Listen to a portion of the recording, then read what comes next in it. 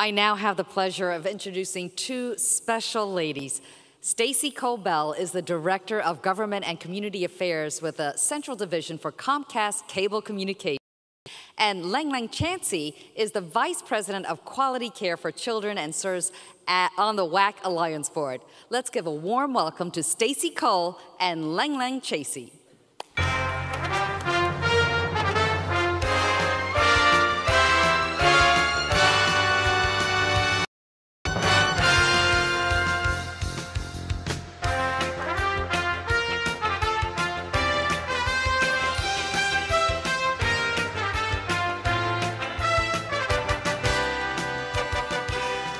Good evening. We really appreciate the partnership with Comcast NBC Universal.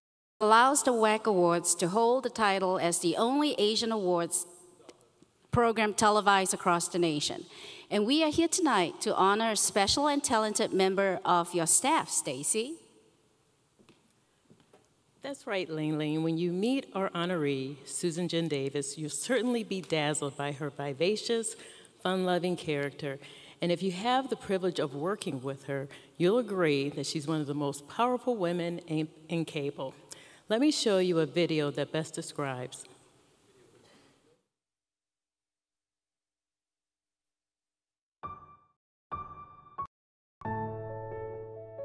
Susan Jin Davis is Korean American, but with her maiden name of Davis, it's not always so obvious. Her father, Bok Nam, was originally adopted by the Davis family and hence the last name for the Asian family. Being extremely family oriented, Susan spends a lot of time with her parents, Bok Nam and Minja Jin Davis, and her daughter, Sophia Jin Malatesta. Noted for her signature punk iconic hair, Susan's friends describe her athleticism as zany, spunky, fun loving, and free spirited. However, on the job with over 25 years of experience in the communications and technology industry, Susan is one tough attorney. In her current position, she is the Chief Sustainability Officer at Comcast Corporation and former the Senior Vice President of Operations Compliance for Comcast.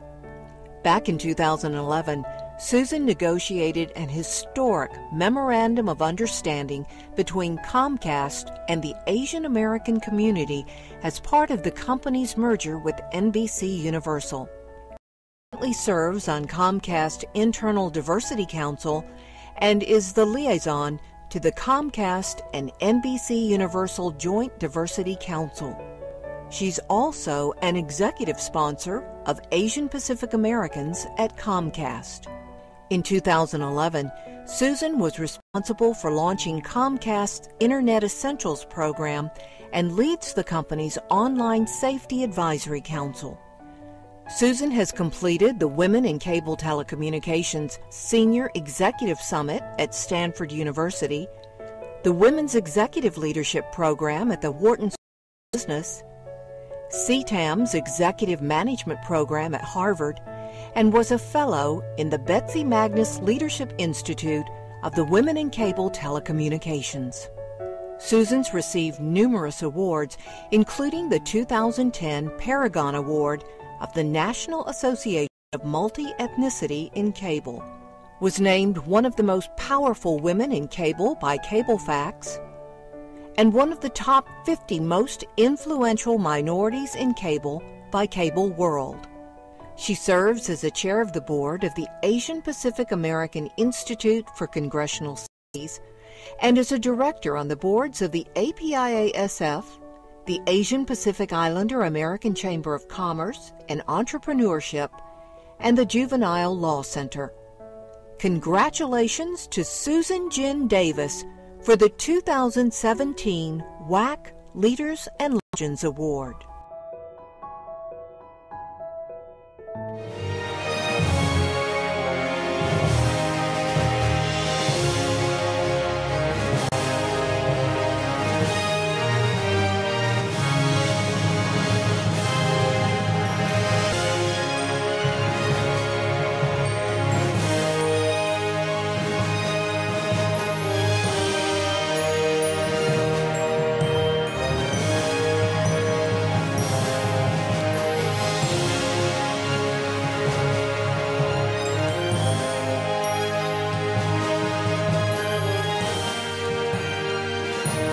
Susan, on behalf of our entire board, I would like to present you with the 2017 WAC Leaders and Legends Awards. Congratulations.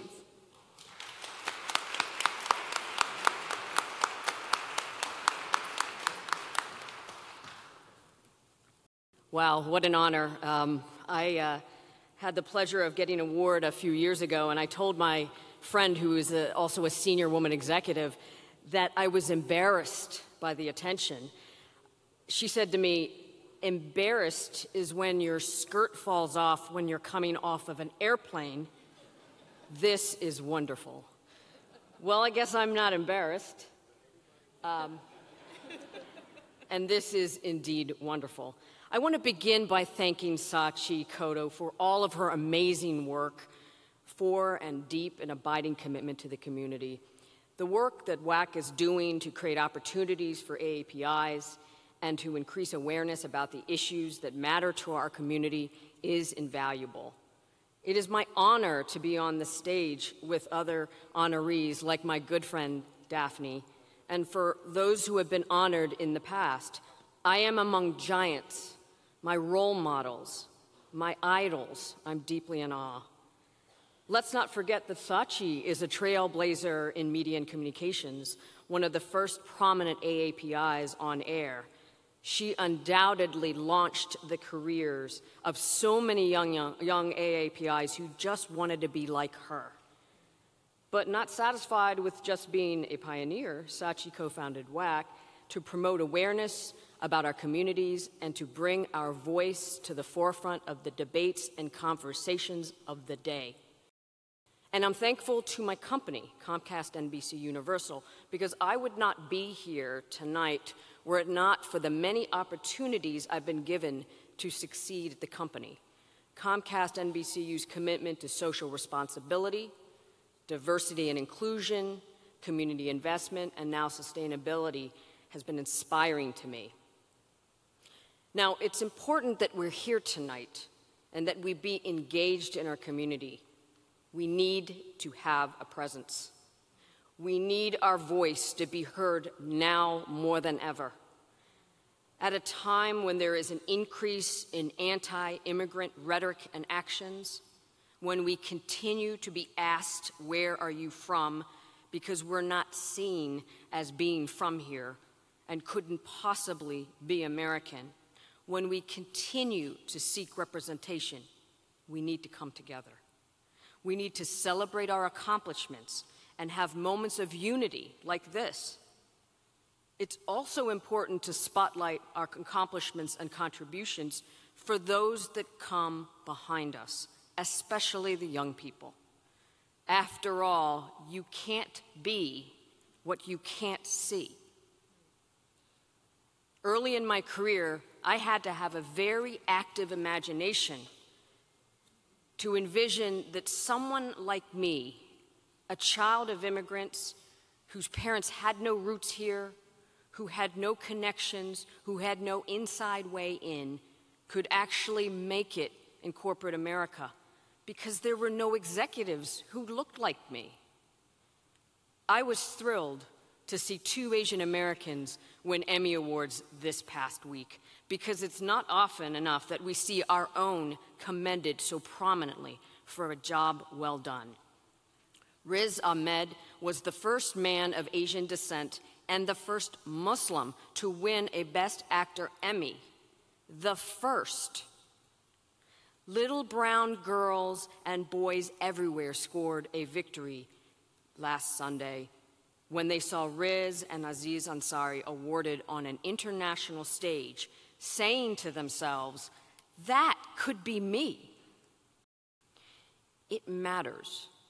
Our young people need to see people like themselves in all walks of life and leadership so that they can not only dream of it, but see it.